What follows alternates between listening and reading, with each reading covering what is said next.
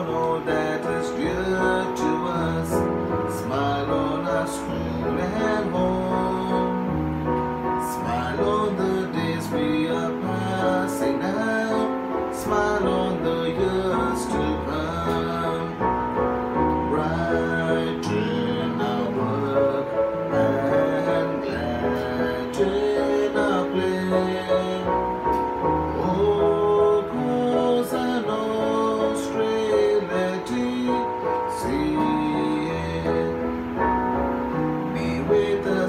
from morn to eve, thou and thy blessed Son.